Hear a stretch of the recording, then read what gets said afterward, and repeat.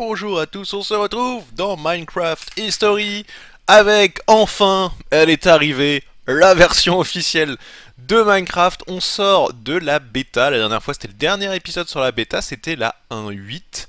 Euh, et on entre dans Minecraft 1.0.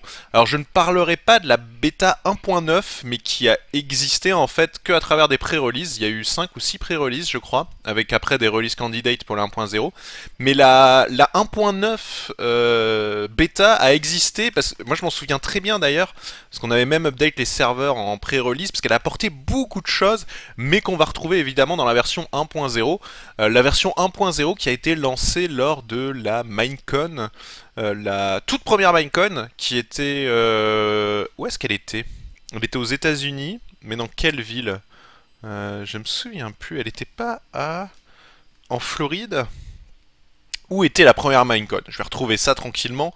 je me souviens plus où elle était, mais bon. la Minecon 2011, bien évidemment, parce que la Minecon 2012 était à Paris, et j'y étais, et c'est là que j'ai rencontré d'ailleurs pas mal de youtubeurs d'aujourd'hui. C'est là-bas que j'ai rencontré pour la première fois en vrai un Fanta. Euh, qui avait d'autres Enfin bon. Les classicos. Euh, donc c'était plutôt cool.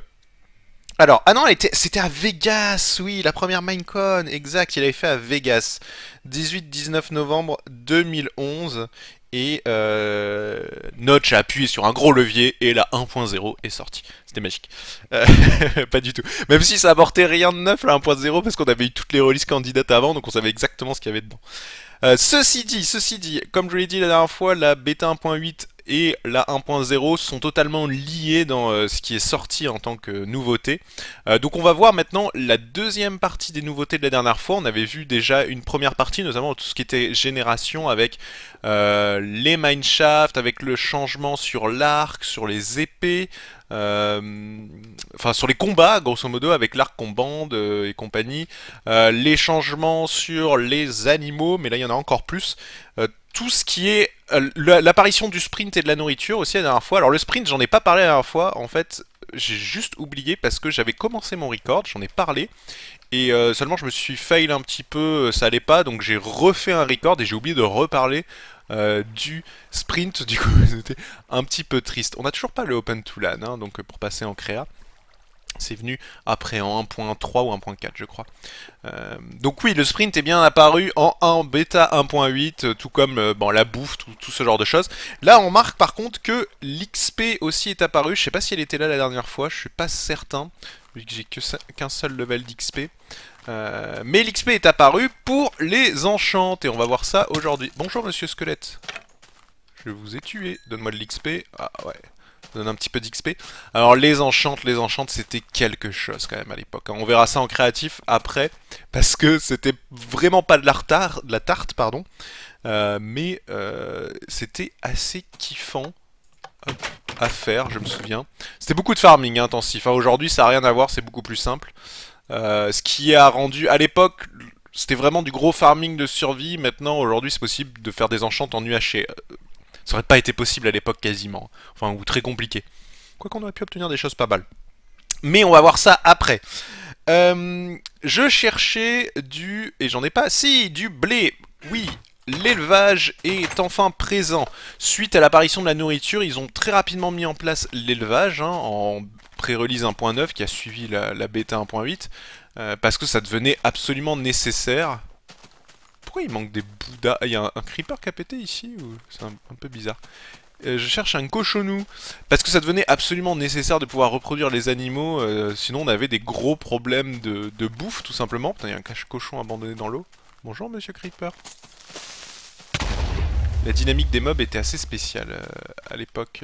je trouve qu'ils avaient une... Une vélocité quand on les tapait assez étrange, mais... Ah, cool. Attendez, j'entends... Ouais, il est là-bas. J'entends un, petit euh. Euh, alors, à l'époque, c'était très simple, élevage. Il n'y avait qu'une seule chose. C'est important, c'est pas les Endermen qui sont passés par là. Le blé Donc le blé, c'était la seule chose pour accoupler les animaux. Hop, et voilà, il faisait des petits. Ça, ça n'a pas changé. Ce qui a changé depuis, c'est les ingrédients utilisés pour pour le... nourrir les animaux. Comme vous le savez, il y a toujours du blé, mais il y a aussi des graines, des carottes, et je crois que c'est tout. Après, par contre, à l'époque, pour les loups, c'était déjà du steak. pour reproduire les loups. Ça, ça va pas changer. C'est juste sur les animaux passifs, c'était que du blé. Donc on a, eu l'apparition de grandes fermes à blé. Ah, toujours un petit bug de duplication. Diamant alors oui, les bugs de duplication, il y en avait un autre aussi que certains connaissaient. Il suffisait en fait de... Euh, vous preniez votre item, vous le jetez par terre, et ensuite vous appuyez sur la petite croix. Alors si vous êtes en plein écran, évidemment, vous la voyez pas. Mais vous appuyez sur la petite croix sans fermer votre inventaire, et quand vous reveniez, vous aviez l'item au sol et l'item dans votre barre d'inventaire. Alors on me l'a fait remarquer dans les commentaires du dernier épisode, euh, mais il n'a pas duré longtemps ce bug de duplication. Par contre, après, il y a de la transmutation, ça je l'ai déjà dit 150 000 fois, mais on le verra plus tard. Donc, l'élevage, euh, vous avez vu, c'est relativement simple, hein, rien de spécial là-dessus. Il faut savoir que dans les premières pré-releases de la 1.9, euh, l'élevage était encore plus sympa parce que les bébés n'existaient pas, ça produisait des adultes directement. Et euh, je sais plus s'ils avaient un cooldown avant de pouvoir être reproduits. mais sinon, après, les cooldowns que vous connaissez d'aujourd'hui datent de cette époque-là, hein, à savoir 10 minutes pour qu'un petit grandisse en taille adulte, et 5 minutes pour pouvoir re-reproduire des mobs, enfin des des animaux adultes. Alors, on va aller dans le Nether. On va faire un petit peu d'aventure aussi aujourd'hui, on va en profiter. Euh, oui, j'ai de la nourriture, mais il m'en faudrait un peu plus. On a dû m'en giver. Pas des steaks qui traînent. On va faire avec ce qu'on a, les mecs. On va essayer d'aller trouver quelque chose dans le Nether. Euh, puisque, puisque, puisque, on va avoir beaucoup de nouvelles choses dans le Nether. Je barre ma petite liste de, nouveautés à parler. Alors j'ai pas beaucoup exploré dans le Nether, vous voyez quand même que, enfin, on a quelque chose de beaucoup plus lumineux dans le Nether. Ça a été totalement changé euh, au niveau de la lumière parce que c'est... On voyait rien avant. La dernière fois qu'on y était, c'était vraiment tout noir. Alors ça faisait plus enfer et Nether, mais euh, du coup on pouvait pas admirer le paysage si je puis dire. Euh, je devrais noter les coordonnées ah oui, l'apparition du fromage en F3 aussi. Et des coordonnées, donc on est en... Je sais pas si j'ai le chat. En 0... Ouais, en 0-0. Quasiment. Sur les gaz. Donc le Nether, on, peut, on peut enfin s'y balader. Euh, chose étrange, nous n'avons toujours pas de quartz. Hein. Ça fait un petit peu bizarre. Et on a un peu des bugs au niveau de quand on saute. Là aussi c'est bizarre. Euh, mais va-t-on en trouver une? Et oui, c'est l'ajout des forteresses. Alors, c'est les forteresses telles que vous les connaissez maintenant. Euh, ça a été ajouté pour pouvoir faire les potions, puisque les potions sont également apparues en 1.0. Euh, et en pré-release même. mais elles étaient pas... Oh, oh, bonjour Monsieur Gast. Hop. Prendre des dégâts, on s'en fout. Ah, le, bon, bon bruit du pied cassé. Je vais essayer trouver une forteresse, mais bon, après... C'est juste pour montrer qu'il n'y a aucune différence. Je sais pas si on va en trouver. Eh oh What the fuck? On est d'accord, il y a eu un... Il y a eu un truc trop bizarre? J'étais coincé en l'air en bandant mon arc. C'était un peu chelou. Ou c'était... Ouais. J'étais coincé sur un bloc. Bon. Est-ce qu'on va chercher une forteresse ou pas? Je vais aller en trouver une, je pense. Je vais essayer de faire un return to the sender. Ah bah, te mets pas au milieu, euh, Coco. Donc oui, les potions sont apparues, mais les potions sont directement... Oh, j'ai cru qu'il était bugué. Est-ce que t'as droppé une arme de gaz, Coco? Les potions euh, sont apparues directement en 1.0 et pas en pré-release, et je vais vous expliquer après la petite histoire, mais on va, de ce pas, trouver déjà un, une petite forteresse. Alors, je me suis baladé dans le Nether, pas de forteresse malheureusement, je pense que j'avais déjà généré les trucs. Euh, donc on va partir sur du créatif, ça sera plus simple. J'arrive pas à installer Single Player Command en 1.0, je sais pas pourquoi. Toutes les, toutes les... En bêta ça marchait sans aucun problème, ils ont dû changer un truc. Euh, mais là, euh, je n'y arrivais plus. Et ça tombe bien parce que on arrive directement... Bon, enfin, juste pour revenir sur les forteresses, il n'y a rien de spécial à savoir, hormis que les Blaze euh, existait. Donc on a eu les premières euh, usines à blaze euh, automatique pour l'XP, ce qui était le plus rentable, avec les Endermen plus ou moins, mais les Endermen sont arrivés un tout petit peu après. les blaze pour le coup, on a eu directement des grinders et ça marchait super bien. En plus les blaze rods sont pratiques. Et on les tuait avec des splash potions de, de, dégâts. et au niveau des créatures, donc il y avait Magma Cube et Blaze, il n'y avait pas encore les Wither Squelettes qui sont apparus bien après quand le Wither est arrivé en fait. Donc euh, on l'avait pas. Les forteresses servaient essentiellement pour la Netherwart, pour les Blaze Rod, pour les Magma Cream, euh, et puis évidemment on avait l'arme de gaz dans le Nether. Tout ça pour les potions ainsi que pour les yeux de Land, puisque comme vous le savez pour les yeux de Land il vous faut une Ender Pearl ainsi que une poudre de Blaze. Donc euh, c'est plutôt bien, on retombe, vous avez vu j'ai recréé un nouveau monde, on tombe dans les biomes marais. Les biomes marais, donc des biomes ont été améliorés avec la sortie de la 1.0. Au niveau des biomes marais, c'est au niveau de la coloration euh, du gazon. Sauf que, comme vous pouvez le voir, c'est pas ce qu'il y a de plus beau, hein. c'est même carrément dégueulasse, on peut le dire. À la base, la transition était brute comme ça, ça a été modifié par la suite. D'ailleurs, il existait un mode, euh, on avait Optifine hein, qui, était déjà sorti à ce moment-là. Euh, et dans Optifine, on avait la possibilité de faire du, du changement plus smooth entre les, entre les différents biomes, ce qui fait que ça évitait le changement de couleur directement comme ça. Parce que si on voit bien dans mes vidéos sauting, je suis tout à fancy, etc. Je suis tout ce qu'il faut. Euh, mais euh, ça a été modifié via Optifine et après ça a été intégré dans le jeu et aujourd'hui on ne voit plus les mélanges comme ça. De même la couleur ici a un petit peu changé, elle est plus aussi crade. Euh, mais là c'était pas officime, on peut pas accélérer en créa, c'est terrible. surtout quand on voit à côté d'un désert, ça fait un petit peu bizarre. Les biomes, la coupure était vraiment assez sale à l'époque. Hein. maintenant c'est plus propre au niveau des couleurs, au niveau des transitions, c'est quand même plus propre. Donc au niveau des biomes, euh, il y a également un nouveau biome qui a été ajouté, je vais pas vous le montrer parce que vous connaissez tout, c'est le biome Mushroom. Alors on sait pas du tout pourquoi il a été ajouté, ça doit être un délire euh, des devs, mais le biome Mushroom a fait son apparition. On, dirait limite qu'il y a des bugs de chunk ici, c'est assez bizarre. Euh, donc on pouvait trouver très rarement les fameux biomes Mushroom avec les champignons. de la même, le nouveau mob la vache champignon est apparue avec la 1.0. Il n'y a que des marées dans, ce, dans ce monde. Avec la 1.0, et euh, bah voilà, il y en a qui sont allés, qui ont créé des nouveaux mondes, qui sont allés s'installer directement dans les biomes mushroom, qui avaient l'avantage de ne pas faire, enfin il n'y avait pas de créatures hostiles qui spawnaient dans les biomes mushroom. Je suis en train de regarder les paysages, c'est assez joli. Ça se rapproche pas tant que ça de notre... Euh, un petit peu, mais on, sent un petit peu la transition entre l'ancien Minecraft et euh, celui qu'on connaît d'aujourd'hui. Euh, les biomes commencent à, prendre un petit peu de l'ampleur, mais on est quand même encore assez loin des biomes qu'on connaît aujourd'hui. Vous avez vu par exemple, les marais sont extrêmement plats, ce qui n'est plus le cas aujourd'hui. Euh, donc ça a changé, puis on a encore ces grosses montagnes. Oh, le petit donjon Le petit donjon je savais pas qu'il pouvait être là à cette hauteur là. Bonjour mesdames les araignées.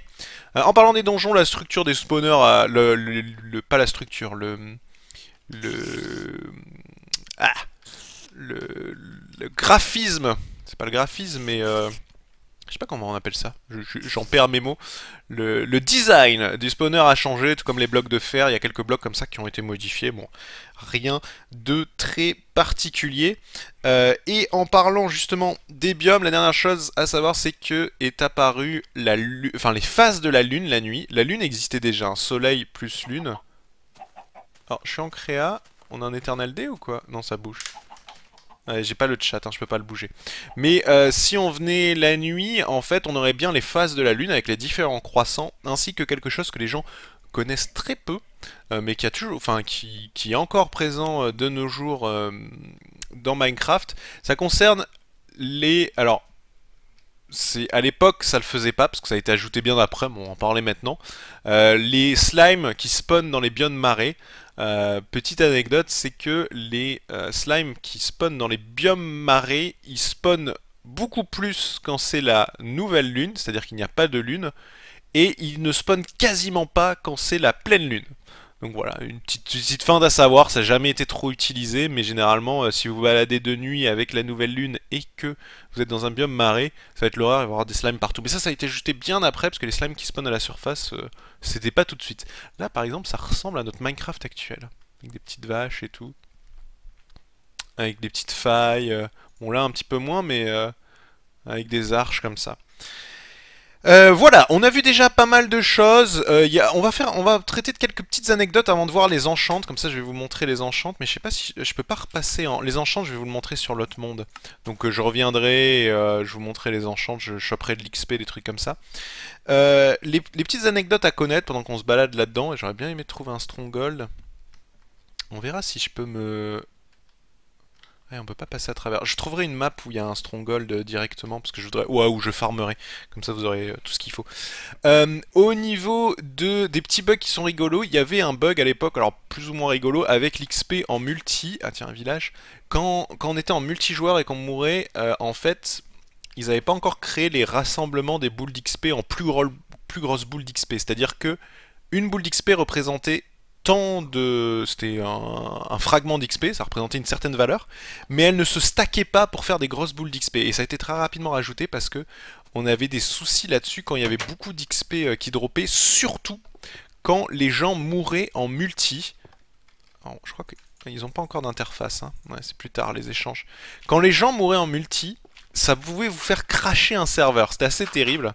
Euh, donc ça a été modifié, bon voilà, c'était un petit bug qui, a fait grincer des dents au début, donc ça c'était dans les pré-releases, hein, en 1.0, il n'y avait plus ce souci là. Euh, dans les petites anecdotes, on a le F5 qui nous fait face qui apparaît, avant il n'y avait que le F5 de dos, là on peut enfin voir sa gueule. Euh, au niveau des barrières, bah tiens on a des barrières, la hitbox des barrières a été changée, on peut être le long d'une barrière maintenant, ce qu'on ne pouvait pas, ça représentait un bloc entier avant, ainsi que les barrières s'accrochent au bloc euh, dorénavant, c'était pas le cas, hein. avant ici ça s'accrochait pas, c'était juste une modification visuelle mais qui est assez intéressante, ça a été fait aussi pour éviter les glitches des animaux dans euh, les... quand on faisait de, de l'élevage. On avait un bug qui était rigolo aussi, qui était le saut en continu. Alors, vous voyez, alors, ça c'est le saut que vous connaissez. Le saut d'aujourd'hui, on saute, et quand on si on garde la touche espace enfoncée, quand on atterrit au sol, on ressaute directement. Faut savoir qu'au tout début, quand le saut a été mis en place, euh, mais pareil, c'était en, en 1.9, je crois, parce qu'il avait fait des modifs, euh, il y avait cette technique, toujours de double saut, sauf que en gros, on sautait instantanément. Au moment où on touchait le sol, on repartait en l'air. Ça faisait vraiment comme si on était sur des ressorts. Et ça permettait d'aller extrêmement vite. Un petit peu comme quand vous êtes sur une piste de, glace et que vous mettez un toit à 2 de hauteur et que vous spammez la touche saut. Et ben ça, ça le faisait de façon naturelle quand vous restez appuyé sur la touche espace. Et du coup, enfin, on, avait des, vitesses de malade de cette façon-là. Et c'est assez rigolo parce que sur serveur tous les mecs sautaient. Voilà, on saute toujours tout le temps comme des. Enfin, c'est moche quoi. Mais euh, c'était c'était vraiment stupide euh, pendant un moment euh, et ça a été corrigé. Euh, il nous reste à voir essentiellement les enchantes. Euh, au niveau des nouveaux mobs, comme je vous l'ai dit, un autre nou nouveau mob qui a été ajouté, c'est le golem de neige qui permettait de farmer la neige. Euh, bon, rien d'extraordinaire là-dessus, mais il était assez intéressant. En fait, là où il a été très intéressant pendant un moment, c'était sur le tri des mobs. Euh, il était très utilisé, pour ceux qui ont suivi mon LP euh, saison 1, vous en souvenez certainement. Euh, on utilisait les golems de neige parce qu'ils permettaient de choper l'aggro euh, sur certains mobs. Je me souviens plus lesquels. Euh, je crois que c'était que... Il y a certains mobs qui ne chopaient pas l'aggro des golems de neige et d'autres oui. Et ça permettait de les trier. Puis ça a été corrigé, enfin été corrigé, ça a été modifié ça. Euh, et ça a été un petit peu embêtant. Mais j'utilisais ça dans mon premier séparateur de mobs qui était sous la fusée hein, dans le LP saison 1. Donc les golems de neige servaient surtout à ça. Puisqu'on est dans l'Adventure Update, bon, qui était la bêta 1.8 mais euh, qui correspond aussi à la sortie de la 1.0, on a aussi le mode hardcore qui a été rajouté en 1.0 pour vraiment les gens euh, qui ont envie de, de train le hard. C'est joli ici. le mode hardcore que... Alors, il y a plein de LP qui ont débuté à ce moment-là sur YouTube où les mecs euh, bah, étaient en mode hardcore et puis euh, ils faisaient des aventures comme ça et c'était assez intéressant à voir.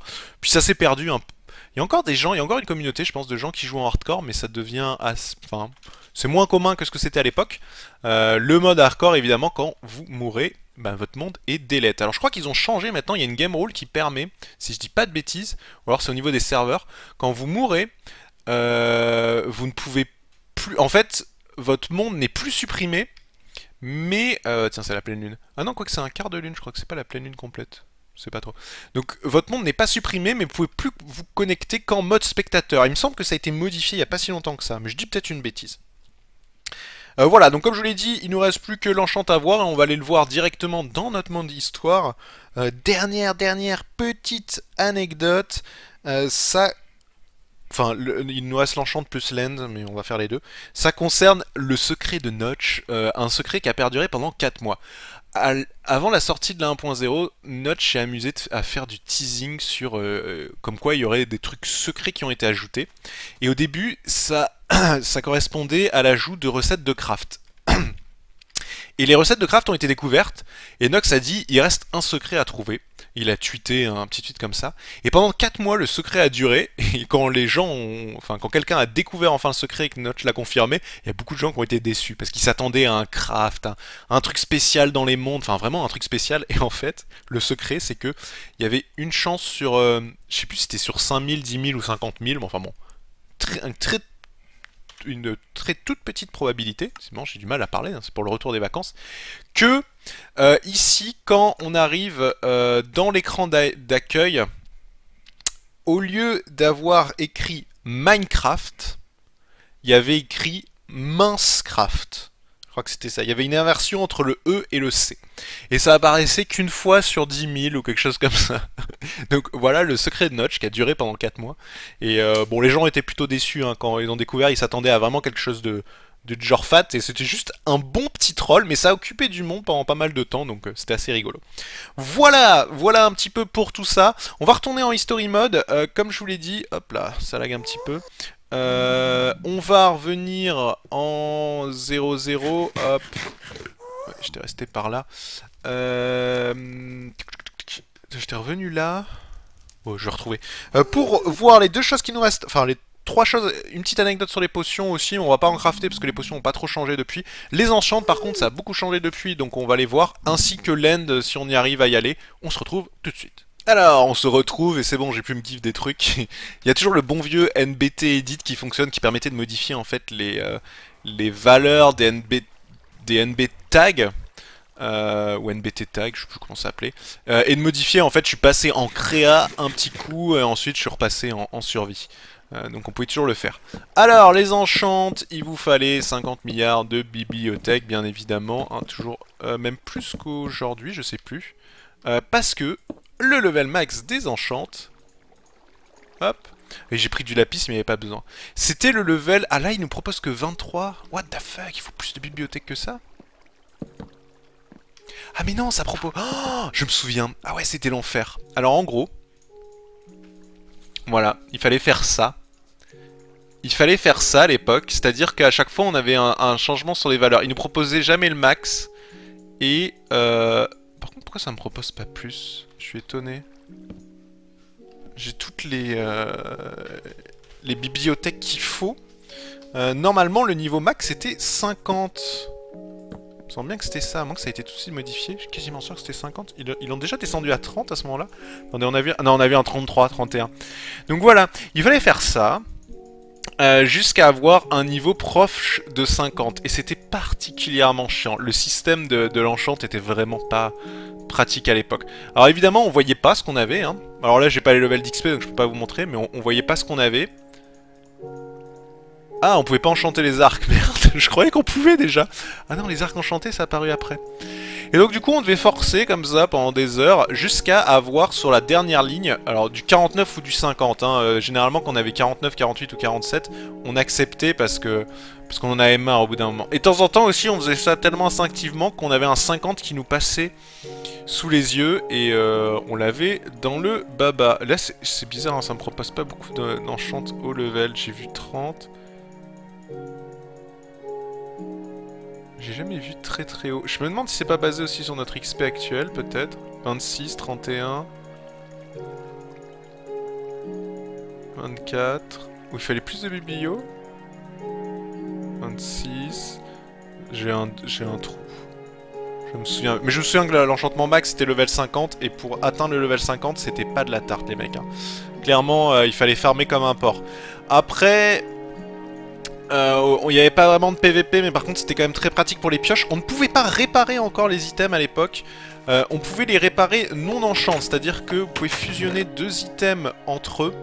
Euh, et si par exemple, que, je, crois pas que j'ai de fer encore, si j'ai du diamant, mais on pouvait réparer en mettant deux items qui étaient un peu abîmés, on les mettait ensemble, ça nous donnait un nouvel item qui était full. On peut toujours le faire aujourd'hui, mais on n'avait pas la réparation avec les enclumes, ça a apparu bien plus tard là aussi. Euh, la dernière chose que je voulais voir avec vous, alors les potions, il y a une petite anecdote, enfin je dis à chaque fois la dernière chose, mais non c'est pas la dernière chose, hein, parce qu'on va, je voudrais aller dans l'end justement pour avoir les enchantes élevées. Euh, les potions, une toute petite euh, analogie, enfin, pas analogie, mais toute petite info sur les potions, hop, je pour faire des, potions, je vais pas en faire autant, mais on va en faire quoi, 9 Ça suffira, j'ai rempli trop de flacons. Les potions, les potions, euh, les potions au tout tout tout tout, début, pas de plus, euh, les potions ne devaient pas être faites comme ça. Quand elles sont sorties, on les, a, a fait directement comme ça avec l'alambic. Mais quand ils ont créé les potions, au départ ça devait sortir en pré-release 1.9, euh, la technique était assez étrange. C'est-à-dire qu'il nous fallait des chaudrons euh, et dans ce chaudron, on y jetait les ingrédients, enfin, on le remplissait d'eau, le chaudron on y jetait les ingrédients, ce qui changeait la couleur euh, du chaudron. C'était fonctionnel, hein. ça n'a jamais été euh, mis dans une version, donc on n'a jamais pu le tester nous, mais c'était fonctionnel parce qu'on a eu des screenshots de la part de Jeb. Et donc dans ce chaudron, on jetait des ingrédients, et à la fin, une fois que tout, on avait mis tous les ingrédients, on prenait nos petits flacons et on euh, remplissait nos flacons en servant du chaudron. On pouvait remplir 3 flacons par chaudron, je crois, et ça nous donnait les potions. Ils ont changé ça parce qu'ils ont trouvé que c'était pas très pratique de devoir euh, mettre un chaudron, le remplir d'eau, jeter des ingrédients dedans, etc. Euh, ça aurait pu être sympa parce que je pense qu'on aurait pu l'automatiser d'une certaine façon. Et surtout la couleur dans le chaudron euh, changeait. Ça ressemblait beaucoup à ce que vous avez dans... C'est Witchcraft je crois. Hein. Dans Witchcraft, vous avez ça, vous jetez les trucs dans le chaudron et ça change de, couleur et ensuite vous les récupérez. Ça ressemblait beaucoup à ça, mais ça n'a jamais débarqué dans une version officielle de Minecraft. Prendre tout ça. Ça n'a jamais débarqué dans une version euh, officielle de Minecraft. Euh, c'est toujours resté à l'état de prototype. J'aurais dû prendre une, une Ender Pearl parce que je sens que je vais mourir dans dans l'end. Euh, donc voilà, hein, pour les potions, après, rien n'a changé depuis, hormis maintenant l'obligation depuis la 1.9 de mettre de la Blaze Powder mais euh, rien d'autre n'a changé au niveau des potions s'il y a des potions qui ont été rajoutées, c'est tout. Alors, on va essayer d'aller au dragon. Le seul truc qui me fait peur... Hop, toujours utilisé de cette façon-là. La seule truc qui me fait peur, on va dormir, c'est que je ne sais pas si le Stronghold s'est généré. On est sur un monde qu'on a créé en alpha, quand même. Euh, et pour peu que euh, le Stronghold se retrouve aux coordonnées d'un endroit qui a déjà été généré parce que j'ai exploré, il n'y aura pas de stronghold. Donc je vais quand même essayer d'aller le trouver, et je vais voir suivant le temps qui nous reste, euh, si on a le temps de faire le dragon ou pas, je pense pas, on le fera la prochaine fois au pire, en 1.1 directement. Euh, hop, et comme ça on verra les enchantes de level 50, parce que le dragon nous donnera largement assez d'XP. Donc je pars à la recherche du stronghold, hop, c'est pas trop trop compliqué. Ouais, à chaque fois il y a une chance sur deux qui, qu'ils éclatent. Mais on a largement ce qu'il faut. Euh, Stronghold d'ailleurs, euh, dernière petite chose, Stronghold, où euh, il y en a 3 par map à ce moment-là. Et vous savez que pendant très longtemps, il n'y en avait que 3 par map. Il n'y a que depuis la version... Bah, je crois que c'est la version 1.9 aussi, à moins que ce soit la 1.8. Ouais, non, je crois que c'est la 1.9. Qu'on n'a plus la limite de 3 stronghold par map, mais 81 ou une connerie comme ça. Enfin, beaucoup plus, avec des cercles en fait. Euh, où il y a les strongholds, c'est quand même vachement mieux pour euh, ceux qui jouent en multi. Parce que euh, avant le souci, ben 3 strongholds, si vous vouliez aménager des strongholds ou faire des trucs fun sur les strongholds, vous en aviez que 3, donc c'était un peu la galère. Allez, moi je vais chercher stronghold et on se retrouve là-bas.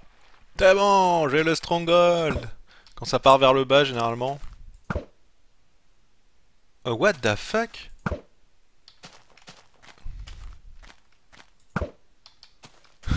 Pourquoi il m'en pointe un autre? C'est quoi ce délire? Il vient de changer le pointage. Ok, c'est pas buggé. J'étais dessus là. Ouais, ouais je pense qu'il est par ici. On va essayer de le trouver euh, à l'ancienne en creusant comme ça. Mais j'étais dessus et euh, d'un coup il est parti ailleurs. Je sais pas pourquoi ça fait ça. Alors normalement je suis dans une zone que je n'avais jamais générée ici, donc ça devrait le faire. On devrait trouver notre ami le Stronghold. On va voir ça tout de suite. Les Stronghold qui n'ont pas beaucoup changé là non plus. Seuls les loots ont changé, mais ça c'est des trucs euh, communs à, tous les... euh, tous les donjons, tout ce que vous voulez, structures, etc. Euh, mais le- les Strongholds en eux-mêmes n'ont jamais modifié. Il y avait déjà les librairies à l'époque, il y avait juste rien d'intéressant dedans. À part des bibliothèques, c'était quand même assez intéressant. C'est long à farmer. Je suis combien là? Ouais, je crois que je suis passé à côté. Maintenant il me dirige. C'est quoi ce bordel? C'est quoi ce bordel? Attendez, on peut pas faire un. On va faire un X-ray. Attendez. Ça va être l'occasion pour nous de voir si les différents X-ray fonctionnent. On va voir, mais c'était peut-être un bug, il me l'indiquait peut-être ici, mais il n'a pas été généré. Alors, il y a différentes façons de faire un X-ray. Euh, on va commencer par... On va faire celle-là. Hop. Hop, hop. Euh, ah merde, il me fallait de la redstone éventuellement.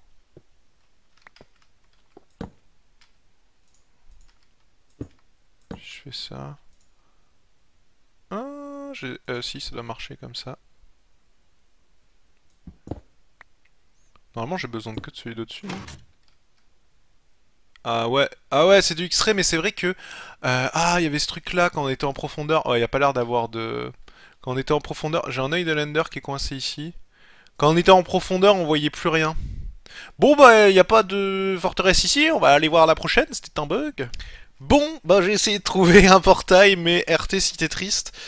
Euh, malheureusement, il me dirige toujours au même endroit avec le, avec ça.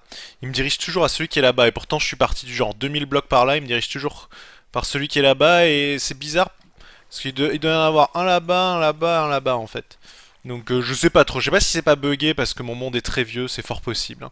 Euh, donc on fera quand même le dragon la prochaine fois pour vous montrer un petit peu comment il était d'époque. Le premier dragon. Pas beaucoup de changements par rapport à celui que vous avez connu euh, pré 1.9, c'est-à-dire euh, avant la 1.9, 1.8 et toutes les versions d'avant. Parce que depuis la 1.9, ça a beaucoup changé, l'End. Mais euh, on ira le faire quand même pour voir ces fameuses enchantes level 50. Et sur ce, je vous dis rendez-vous à la prochaine pour la suite des nouveautés de l'histoire, pardon, pas des nouveautés, de l'histoire de Minecraft. Allez, à la prochaine, ciao ciao ciao